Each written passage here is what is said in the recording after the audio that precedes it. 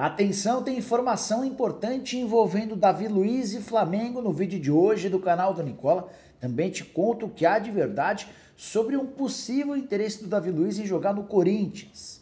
Bora te atualizar sobre essa história de que Abílio Diniz, um dos caras mais ricos do país, pode ajudar o São Paulo financeiramente. Tem informações também sobre a treta entre o Brasil e a Argentina. Há quem diga na Argentina que o Brasil ficará fora do Mundial de Clubes. Baita absurdo, hein? Pois saiba também sobre Savinho. Surgiu nesta segunda-feira a informação de que o Galo tem uma proposta do CSK de 61 milhões de reais pelo atacante de 17 anos de idade. Vou te trazer a resposta dos dirigentes do Atlético. Bora contar também sobre Fábio Carilli, que se tornou o favorito para fechar com o Santos. Será que vai dar certo? Para completar o prazo que o Cruzeiro estabeleceu para se tornar um clube empresa e mais uma derrota do Vasco da Gama na Série B.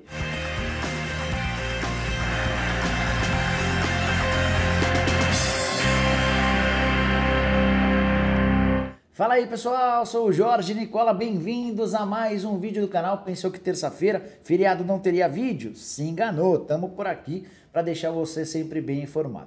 Antes de começar a passar as informações, só pedir para deixarem like, se inscreverem no canal e lembrar que tem programa do Nicola também nessa terça-feira, 7 horas da noite, beleza? Conto com a presença de todo mundo ao vivo. Bom, bora começar o vídeo, não sei antes dar um toque para vocês.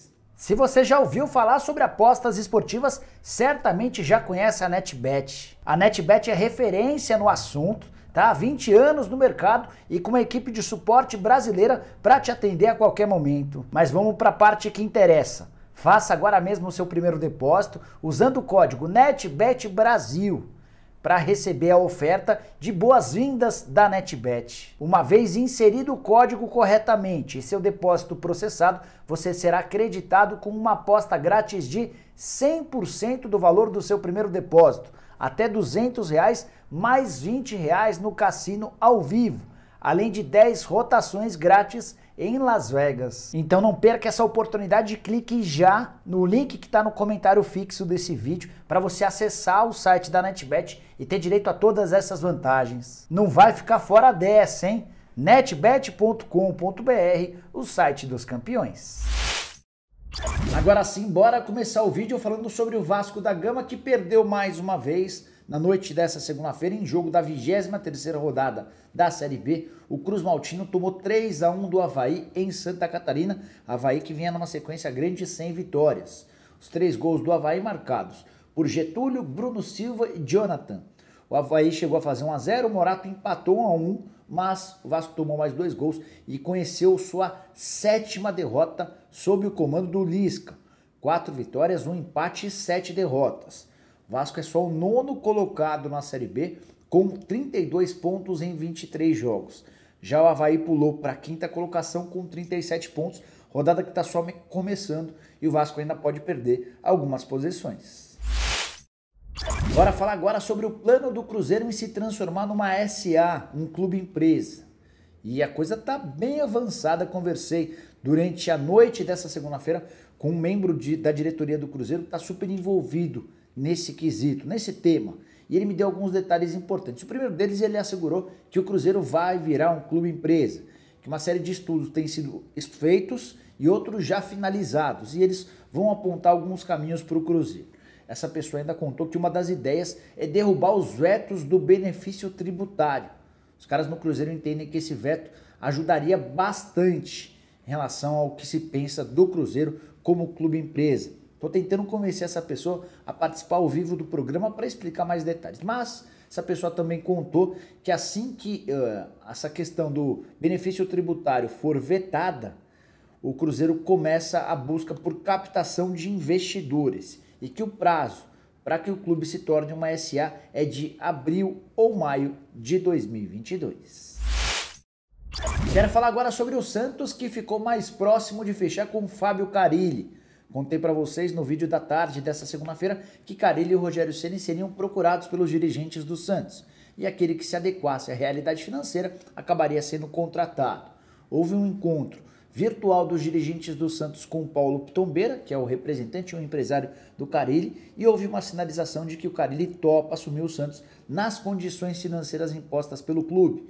Contrato todo em carteira, nada por fora, salário compatível com a realidade do peixe, bem distante daquilo que o Carilli ganhava nos tempos de Al Ittihad, contrato até dezembro de 2022. O Carilli é esperado nessa terça-feira no Brasil. Estava fora, voltando da Arábia Saudita, onde tinha contrato com a Al-Ittihad, ele foi demitido recentemente depois de não concordar com a contratação de um atacante. A curiosidade é que o Rogério Ceni, que foi especulado para disputar com o Carilli a posição no Santos, também foi cogitado para suceder o Carilli no Al-Ittihad. Rogério Ceni não se empolgou com as condições, apesar da proposta financeira gigante. É importante contar que a busca pelo Carilli também passa pela dificuldade técnica e extremamente defensiva do Santos, que já tomou 25 gols em 19 rodadas no Campeonato Brasileiro. Estou muito curioso para saber como é que o Peixe vai se comportar com um técnico que não tem nada a ver com o seu estilo. O Carilli é extremamente defensivo, o Santos com esse DNA extremamente ofensivo. Bora falar agora sobre Savinho, atacante de apenas 17 anos de idade. Não conseguiu ser titular nem protagonista no Atlético Mineiro, mas tem feito barulho com a camisa da seleção brasileira da sua categoria. E nessa segunda-feira o repórter Wilson Pimentel trouxe a informação de que o CSK da Rússia está disposto a pagar 10 milhões de euros ou 61 milhões de reais para ficar com o Savinho definitivo. Essa oferta seria por 80% dos direitos econômicos do Galo. Conversei durante o programa do Nicola com uma fonte importante do departamento de futebol do Atlético para saber o que havia de verdade em relação a essa proposta e a resposta foi de que não tem absolutamente nada. Essa pessoa até contou que gostaria que algumas dessas várias notícias plantadas sobre vendas de atletas no Galo fosse verdade, até porque o Atlético Mineiro precisa desesperadamente de receitas e a venda de jogadores seria algo extremamente positivo. Só para relembrar alguns nomes que foram citados recentemente. O Arana foi bastante especulado no Benfica, Houve algumas sondagens em cima do nome do Hulk, entre elas do Besiktas. O Vargas Teve algumas sinalizações de que poderia jogar na Arábia Saudita, mas nenhuma das ofertas se tornou real. A única proposta preto no branco que chegou foi do Midland, da Dinamarca, pela contratação do Marrone, esse negócio que já foi fechado. Marrone já foi até apresentado em seu novo clube. Só antes de mudar de assunto, vale a lembrança de que termina nessa terça-feira o prazo de inscrições no Campeonato Russo. Ou seja, se o CSKA, embora não tenha procurado o Atlético, quiser de fato o Savinho, vai precisar apresentar uma proposta ao longo da terça-feira pouquíssimo tempo para fechar o acordo, mas vai saber se não dá certo. Por fim, só para arrematar, vale a lembrança de que o Savinho subiu ao time profissional do Atlético com apenas 16 anos de idade. Ele completou 17 no dia 10 de abril e na atual temporada tem 12 jogos e ainda não marcou gols pelo time de cima do Galo. Bora falar agora sobre a treta entre Brasil e Argentina do último domingo que segue repercutindo. Na Argentina, ao longo da segunda-feira, teve advogado especialista em direito esportivo afirmando que o Brasil pode ficar fora do Mundial. Trata-se do Norberto Outerelo. Ele participava, dava uma entrevista ao TIC Esportes, a um programa de TV da TIC Esportes. A frase dele foi a seguinte: O Brasil pode ser excluído das eliminatórias. Eles desautorizaram a FIFA em todas as suas regulamentações. Só para lembrar que se alguém for excluído das eliminatórias, automaticamente está fora da Copa do Mundo. A frase do Norberto acabou soando esquisita até entre os participantes do programa. E um deles chegou a dizer: ah, esquece, não tem chance nenhuma de o Brasil ser eliminado das eliminatórias e, por consequência, do Mundial. O Norberto não gostou dessa intromissão e falou: ah, então quer dizer que você prevê o futuro, você já consegue cravar que ele não vai participar do Mundial? E essa pessoa falou: não, eu acho que não vai, eu acho que vai participar do Mundial normalmente. Porque você acha que o Brasil vai ser eliminado?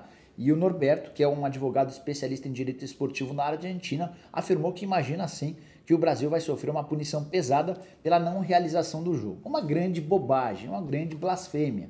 Mais uma mentira contada pelos argentinos que não param de inventar. Chegaram a dizer, uma capa do Olé, nessa segunda-feira, de que o Brasil era o campeão mundial do papelão. Na verdade, o papelão foi feito pelos argentinos.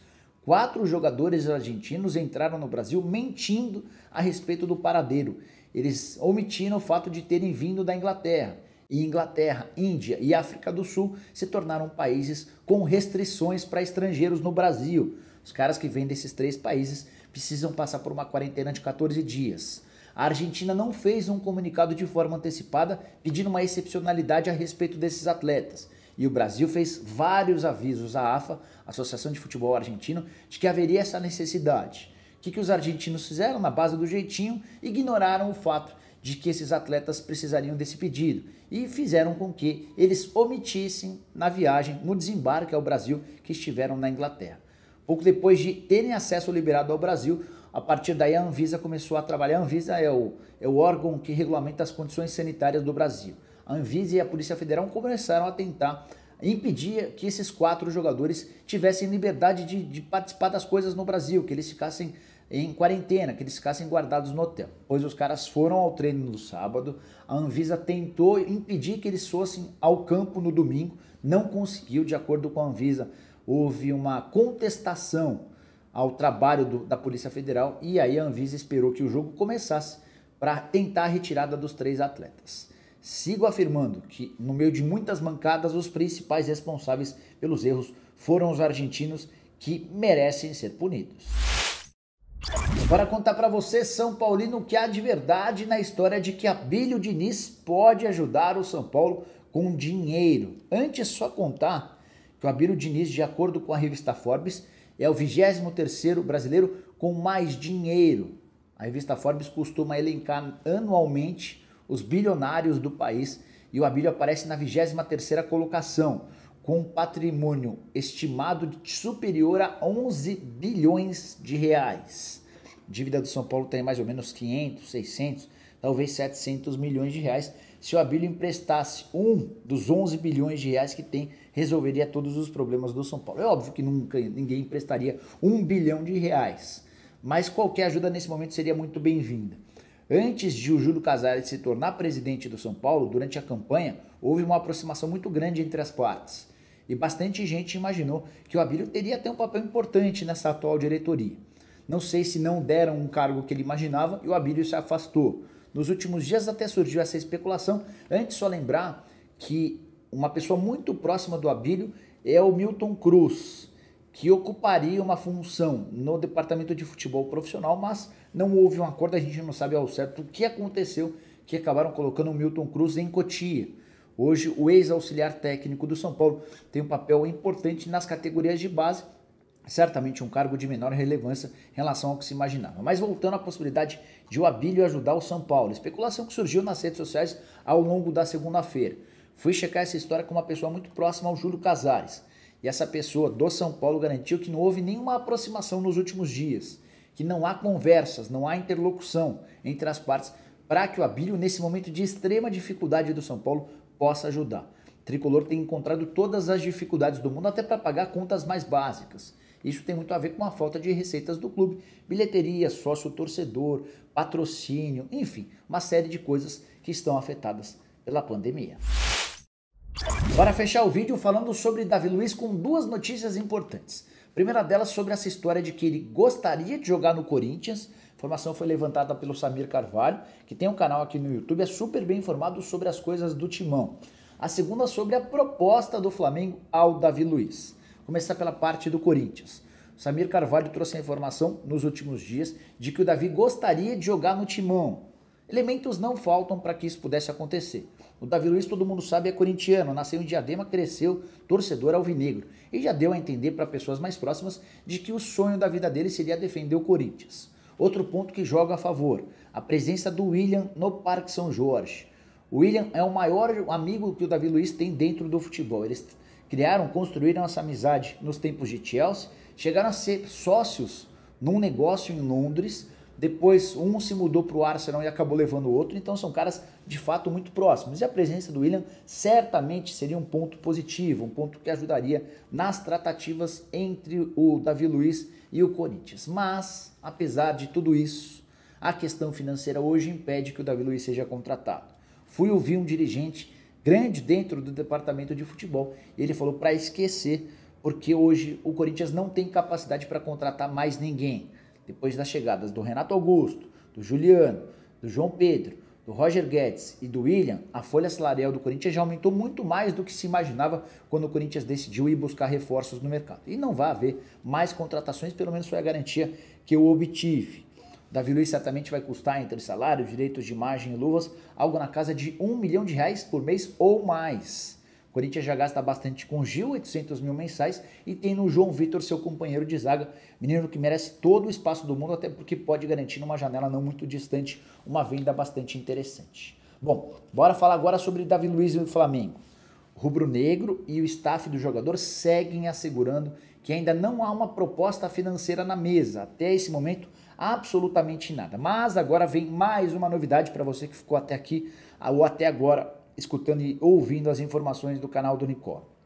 Uma pessoa com um bom trânsito com o Davi Luiz me assegurou na virada da noite, quase madrugada dessa terça-feira, que o Flamengo prometeu apresentar ao longo dessa terça a primeira proposta oficial ao Davi Luiz, com as cifras, com o tempo de contrato e com as condições que ele entende ser capaz de bancar para que o Davi Luiz seja contratado. Novela chata, longa, que já está se estendendo muito mais do que qualquer pessoa imaginaria. Os representantes do Davi Luiz e o Flamengo já tiveram algumas oportunidades de conversar e até esse momento não houve a proposta oficial, o que deve acabar nessa terça-feira. Davi tinha algumas alternativas no futebol europeu, essas alternativas foram se esgotando. Ele também recusou algumas propostas, como por exemplo a do Besiktas, não quer jogar no futebol turco. Foi especulado na Salernitana, também já disse que não vai jogar no time de Salerno, que acaba de subir da segunda para a primeira divisão do futebol italiano. Tudo indica que vai ficar no Brasil e o Flamengo seria a opção, o plano A nesse momento. Bom, pessoal, eram todas essas as muitas informações que eu queria dividir com vocês nesse feriado de terça-feira. Espero que vocês curtam o dia em paz, com calma, ao lado dos familiares. Não façam nada do que vocês possam se arrepender depois, beleza? Ah, só lembrando ou pedindo para deixarem like, para se inscreverem no canal, lembrar que a gente volta com vídeo no meio do final da tarde e com o programa do Nicola ao vivo a partir das 7 da noite. Tem rodada do Campeonato Brasileiro, tem estreia do Roger Guedes, enfim, tem bastante coisa para a gente repercutir. A gente vai se vendo. Tchau, tchau.